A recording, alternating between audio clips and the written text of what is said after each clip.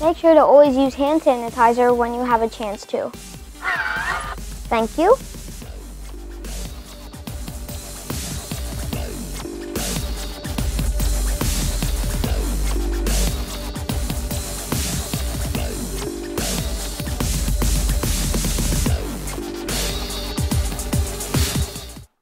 Humphreys.